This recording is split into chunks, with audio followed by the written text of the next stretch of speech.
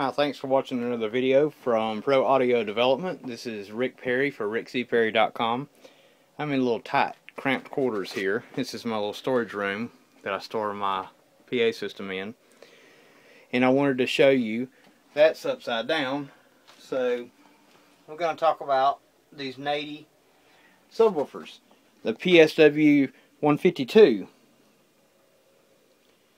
Now, I was hired to do a gig, you know, six, eight months ago, and the people said, you know, we need some subwoofers. And I was like, well, do I rent them or do I buy them? So I found these online. I think I bought it uh, through an eBay store. Uh, they were drop shipped to my house in an 18 wheeler. Um, the total was 369 I think it was, for two cabinets delivered to my door.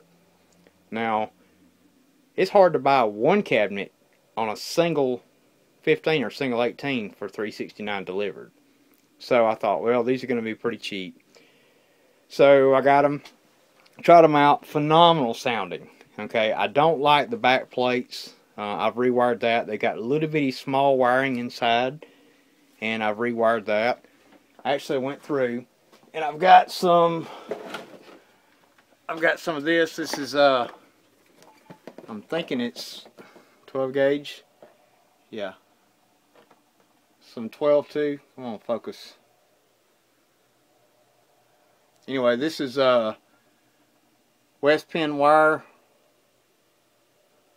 Uh 12 gauge, two strand inside here. So I took those and I actually wired some Speakon plugs on the back of these. Um, I I think they only have like um, just a regular quarter inch on the back. But if you want to upgrade something, grab a pair of these and uh, put you some Speakons on the back of it and uh, go to town. I mean, this thing, I mean, it rocks. I mean, I'm not going to lie to you. It's got a little bump in the curve. So, uh, you know, if you adjust your crossover flat, then they'll be, you know, low end heavy, which is fine. The one thing I can say I don't like about them is the mounts right here which all this is covered up and you can't see it, but where the mounts are, the wood is very flimsy. So if you've got your mains on there and they're, you know, there's no wind blowing, then you're you're good to go. But I would suggest if you're going to use these and mount your mains on it, to um, actually go inside and and you know reinforce the inside these corners are plastic and eventually they'll break off. I've got one of the corners already broke off. Um, if you stand them up, the handles, well you can't see, let me turn my light on. The handles aren't recessed, so if you stand them up, they'll kind of rock a little bit on the handles.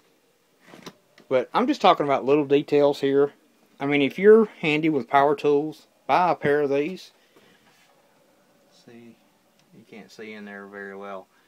But, you know, buy some of these and replace the wiring inside because the wiring is very flimsy. It's not soldered very well. Um, they've got quarter inch uh, in, insert, or uh, not inserts, quarter inch plugs on them. So change them over to Speakons. Buy you some good metal corners.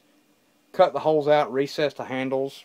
And uh, these things rock. I mean, I'm thoroughly happy. They're not too heavy. You can pick one up by yourself and load it in and out. So I would highly recommend this for a budget buy. Nady Audio. Um, it says 107 dB at 1 watt, 1 meter.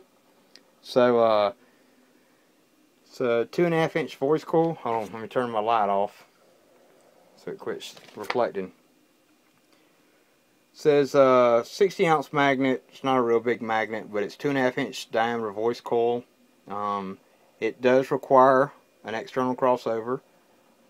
Heavy duty plastic, protective corners, and binding. Okay, it's got banana jacks and two quarter inch jacks for easy daisy chaining. They're 4 ohm, so I actually run these, one of these on each side of my amp. Um, at one time I wired them in series and run the amp bridge to 8 ohms and they still you know, rocked hard. So this rock solid bottom end, highly recommend it. It's worth the buy. So if you got any more questions about these or whatever, just send me a message and I'll be glad to answer anything you got.